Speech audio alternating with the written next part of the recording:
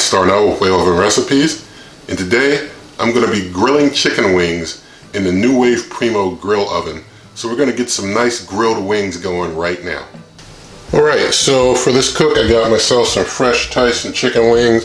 For anyone that feels they need to be washed in advance, please see the food safety playlist in the video description. I've got for this cook some extra virgin olive oil. I've got some hickory smoked sea salt, some Old Bay seasoning, and some black pepper that I'll be freshly cracking over the chicken. But to start, I'm going to pour some of this oil into this bowl, and I'm going to get these wings covered well in oil. And after I get them covered well with oil, then I'll start applying the spices.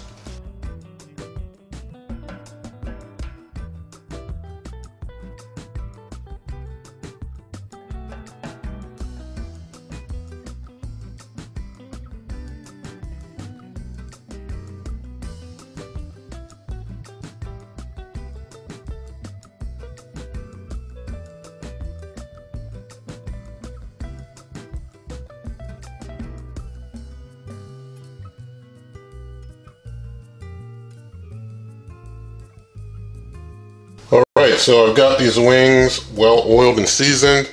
As many of you know who have watched many of my videos, I don't remove the tips, although I am aware that I could. I choose not to. Now I'm going to get a meat probe into one of these uh, pieces of chicken. Got that in there good.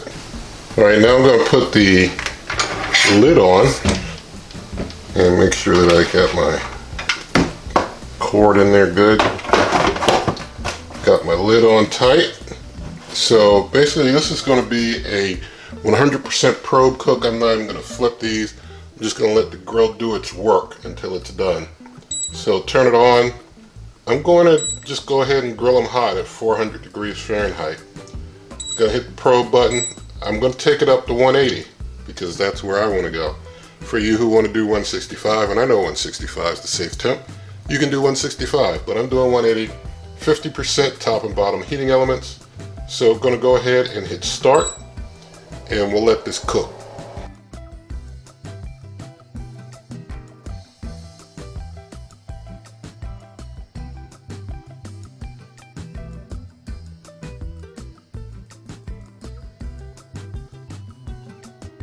Alright, we're at 179 degrees and it's done. I'm just turning it off. Let's see what we got going on. You can see a lot of steam came off because of that oil. Those are our finished uh, grilled chicken wings. I guess if I flipped them they would have had you know, maybe some sear marks on the opposite side and such, but they're all done. So let's take our instant read thermometer and get some temperature readings see if I can get further in into a piece of meat. I wasn't going far enough in. You see that's 210. This is the piece with the meat probe. It's like in the 170s and rising. So it's definitely done. Shows the meat probe is keeping an accurate temp. Let me get deeper in this one. Yeah, real hot there. Get into that meat, you get a real good read. Instant read thermometer works great.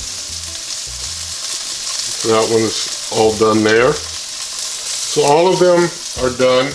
You know, I didn't check maybe that one over there, but we know they're all done. So basically just going to take one, I like the look of this one, and just plate that. Let's have a closer look at it. There we go.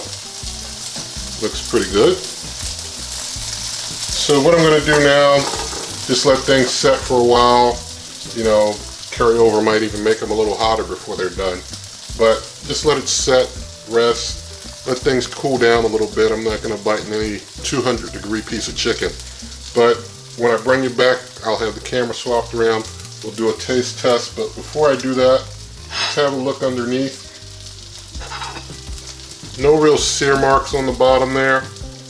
So didn't get any searing there. We did grill them, but we didn't get any searing. I guess we could have uh, you know, hit the sear button or something to make sure we got a sear if we wanted that. And maybe the oil may have even you know, prevented some of the extra searing that may have happened if there wasn't the oil underneath or something. But at any rate, my wings are done and they look good. So once things are cooled down, we're gonna taste them. All right, here's our grilled chicken wing. Now that it's less than 200 degrees Fahrenheit, you can just bite in and do a taste.